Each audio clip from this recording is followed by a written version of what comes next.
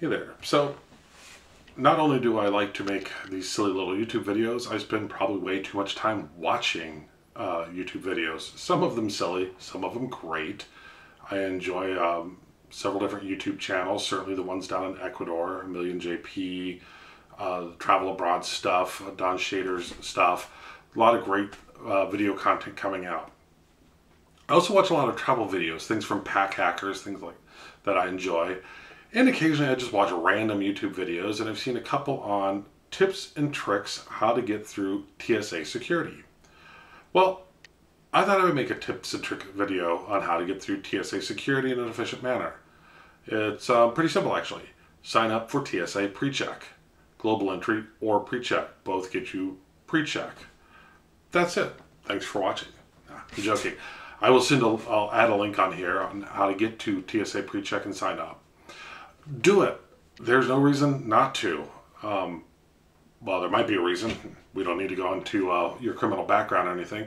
But if you can sign up for TSA PreCheck, do it. It's simple. It, it's cost effective in my mind. It, it's I don't know how much it is. It's like 50 to 100 bucks for TSA PreCheck. I think it's 100 for global entry. If you're traveling around a lot, I wholeheartedly recommend getting global entry because it makes uh, you go to a whole lot shorter line when you come back to the U.S. But sign up for these programs. I mean, you can make an argument about government oversight and surveillance, et cetera, et cetera, et cetera. You lost that battle as soon as you flew on an airplane, though, especially if you go overseas. They already know everything about you. Um, in fact, you probably skip the colonoscopy, just ask them. They probably already know the results. I'll probably leave that in. Maybe I should cut it, but I'll leave that statement in. So, sign up for these programs. I'll leave a link how to do it if you have um, a travel card like an American Express Platinum, um, American Express uh, Delta Reserve card, uh, I think some of the Chase cards. Um, I'm an Amex fanboy, but um, I think I'm pretty sure you get this in some of the Chase cards as well. You uh, they'll reimburse you for the cost of global entry or TSA PreCheck. So it's basically free if you've already chunked out the change for these um, overpriced cards you uh, can get it free uh, TSA PreCheck. Do it. Uh, it doesn't do any good if you don't get your wife to do it, which can be the challenge. It took me a bit.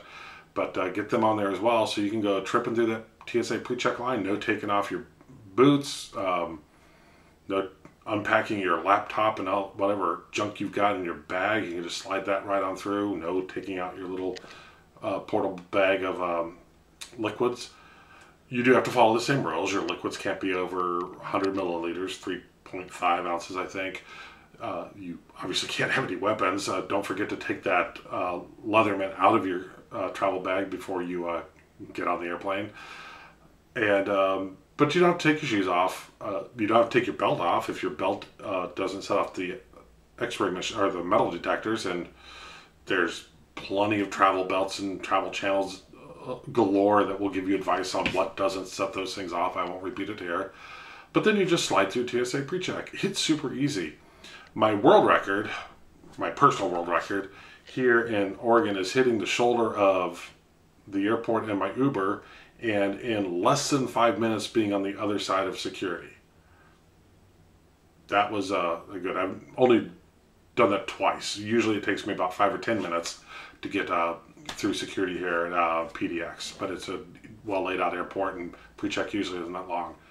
So, short story made overly long. Go get it. That is your number one tip to get through TSA. Go get your pre-check. I'll put some links in the description. Good luck and have fun with it.